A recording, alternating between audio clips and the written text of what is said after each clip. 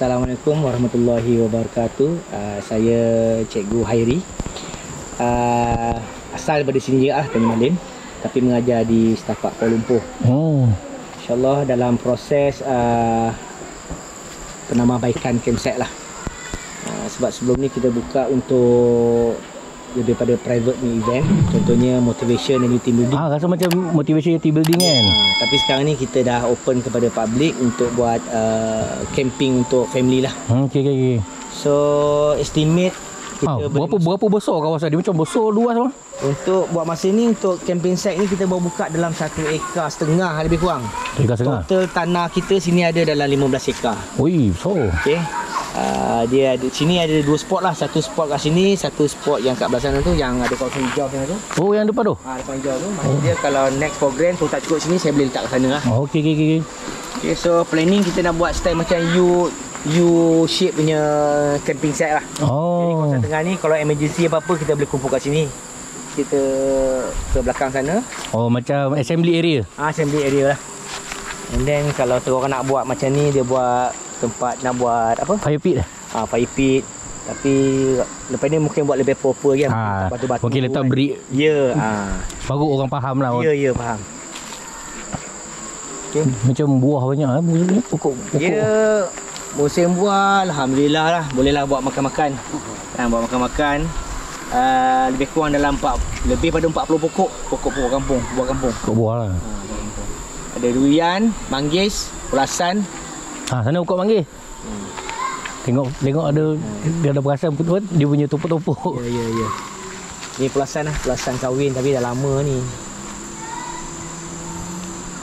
So memang target untuk family gamble lah. ah target family camper lah sebab sekarang ni menjadi satu apa fenomena eh. Ah fenomena family going out together. ya yeah. uh. And then kita punya sungai pun sesuai untuk budak-budak Ah sungai yes betul sebab saya tengok tadi belah atas sikit kena jalan ke tepi sikit. Ah. Situ best. ada pulau lagi kat atas Ah dia ada pulau. Lepas tu pasir. su- surprisingly yang air daripada belah kiri dia agak suam. Belah kanan dia sejuk sikit. ya yeah. Itu macam eh apa hal macam eh tu tadi rasa boleh, macam boleh pilih sungai panas panas ah sejuk kalau kalau tak nak sejuk boleh kiri sikit. yalah yalah Aduh, tapi dia memang puas hati lah sebab contoh saya tengok eh ada dua dewan. Satu contohlah macam kemah yang Yelah macam setengah orang tak kerti nak set up untuk fly apa semua kan. Ha boleh opt for that that ni that area. Ni ada satu, sana ada satu. Ah, toilet. Okey, buat masa ni kita ada enam toilet. Uh, eh, ada uh, tiga pintu lelaki, tiga pintu perempuan lah. Oh, okey. Tapi dalam proses penambahbaikan sebab masa PKP tu lagi, Ah, orang betul, betul. datang, paip pun ter- ter- tercabut, pintu pun ada pecah. Jadi dalam proses penambahbaikan dan proses untuk mengecat. And then yang option yang kedua, kita akan buka dua bilik tepi sungai tu. Setiap bilik ada toilet.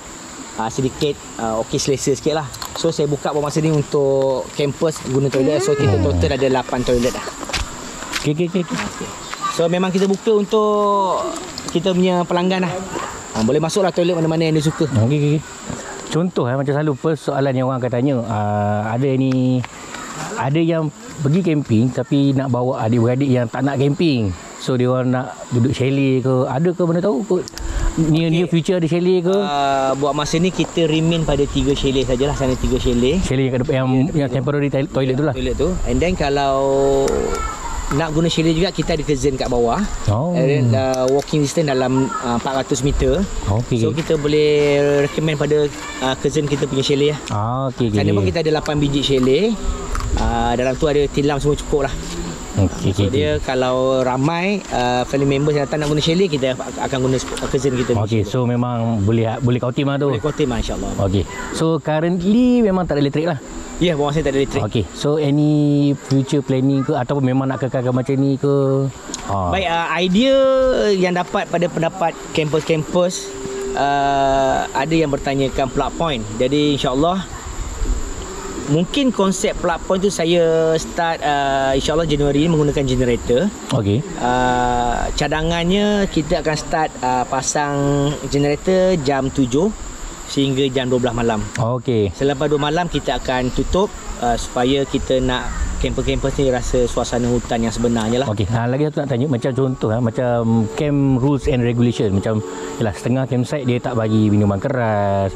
Ha, macam setengah macam ada kes yang bawa skandal pun semua yang isu ha- mah- mahram bukan mahram ni lepas tu uh, pencemaran bunyi macam after 10 dah tak ada bising-bising sebab benda tu memang akan ada ada, undang-undang lah Ah, InsyaAllah saya akan naikkan satu signboard undang-undang kita lah. hmm. Maksudnya tadi yang pertama tadi dari segi bunyi sebenarnya kita tak allowed kalau ada nak buat karaoke memang kita tak bagilah. ah okey okey okey Itu yang paling sensitif sangat. Betul. Jadi karaoke tak ada. Uh, minuman keras memang tak boleh. hmm. Uh, tapi ada juga request dari segi pet. Pet ni pun satu isu juga. Ada setengah orang dia sensitif dengan pet. yes Kan uh, mungkin uh, buat masa ni kita try avoid dululah untuk pet-pet ni. Ah, dia sebab macam macam ada campsite yang allow dan ada yang tak allow. Ha, kalau yang allow tu contoh pet yang macam anjing sebab kita muslim susah. Ya betul. Sebab nanti takut terpijak tu apa benda Ya, nak ya. ramak macam Ah, itulah bukan kita tak nak benda tu. ya, ya, ya. Dan kadang-kadang kucing pun memang comel apa tapi kadang-kadang ada kes yang jadi dia berak mengata. Ya, betul, betul. Lepas tu cakar kemah apa Ya, so ya. kita kalau boleh we try to avoid Betul those lah buat masa ni. Un- unnecessary punya benda-benda ni try to avoid. Betul. Sebab Betul bukan tu. semua orang suka dengan kucing. Yes. Jadi kita ambil jalan tengah. Uh, Kita cari titik pertengahan macam sekarang ni tak boleh lah kot. boleh lah. Ha, okey okey okey boleh. And then dari segi yang uh, ma- mahram dengan mahram ni eh, itu memang sangat isu sensitif lah. Saya kalau dia tanya kadang-kadang saya tanya kalau family camping ni kita boleh detect gambar profil dia. Yes. Ada anak-anak okey. Saya okey lah tapi kalau dia ma- macam dia bujang apa uh, kita tak allow lah sebenarnya sebab benda tu Sebab- nak kena jawab. Kita nak menjawab ni. Dia nak jawab. Jadi Betul. yang bujang-bujang ni kalau dia lelaki semua okey tapi Ah. kalau ada couple-couple ah saya Yelah kalau dua grup ja- uh, laki-laki Ya, laki, perempuan perempuan. asing-asing lah. Ah, kita ada ada boleh difikir lah benda tapi kalau couple yang Faham faham. jadi kita akan akan Try to avoid lah, try to avoid. Tak nak nanti jadi kita jenuh nak menjawab. Okay, nanti kita continue sebab customer dah datang. Okey. Kita kita sambung lagi. Okey sama.